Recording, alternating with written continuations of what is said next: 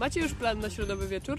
Gramy z mistrzem Polski MKS perum Lublin. Zapraszamy na halę, potrzebujemy Waszego wsparcia. Środa, godzina 18. Hala sportowo-widowiskowa w Elblągu. Zapraszamy. Do zobaczenia na hali!